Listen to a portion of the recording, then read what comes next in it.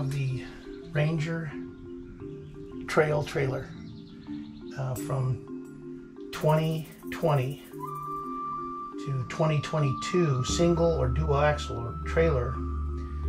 There's failures in the bearings with the hub may result in the unit seizing under ordinary use conditions, increasing the risk of a crash.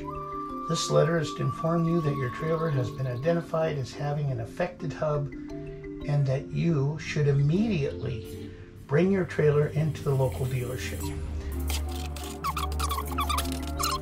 They also want me to uh, reduce my speed when I bring the trailer in.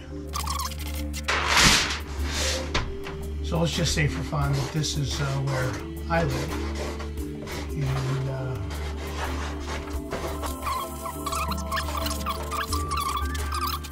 and they're going to fix the bearings, whatever's wrong with them. Too tight, too loose, wrong bearings, overheated bearings, um, flat spots on the bearings. I'll just drag this in empty because remember my boat's in the dirt. Or drifting adrift on a lake somewhere. But I'm supposed to go on the back roads, uh, up Mount Crumpit, come down, and then the back roads into the dealership. What are you on glue? And what's happening? That's not happening, okay?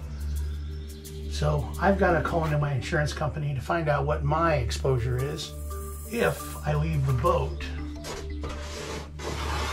on the trailer and take it in with these defective bearings. And uh, when they call me back, um, and if they would cover it if something happened on the way, although I have knowledge of this, um, will they cover it? And so they're checking with the underwriters, and uh, we'll see what happens uh, after that.